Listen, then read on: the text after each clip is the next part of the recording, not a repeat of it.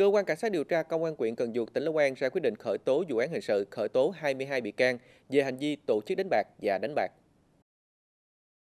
Đội Cảnh sát hình sự Công an quyện Cần Duộc bắt quả tang 34 đối tượng đang thực hiện hành vi đánh bạc dưới hình thức chơi game bắn cá, đặt thú và tài xỉu thắng thua bằng tiền tại chi nhánh 1 công ty trách nhiệm hữu hạn Electronic Game Tấn Tơ, khu dân cư Long Hậu, ấp 3, xã Long Hậu, huyện Cần Duộc.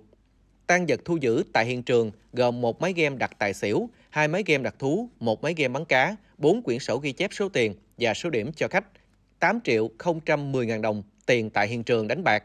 105 triệu 870 ngàn đồng tiền trên người các đối tượng, 26 xe mô tô các loại và 29 điện thoại di động các loại.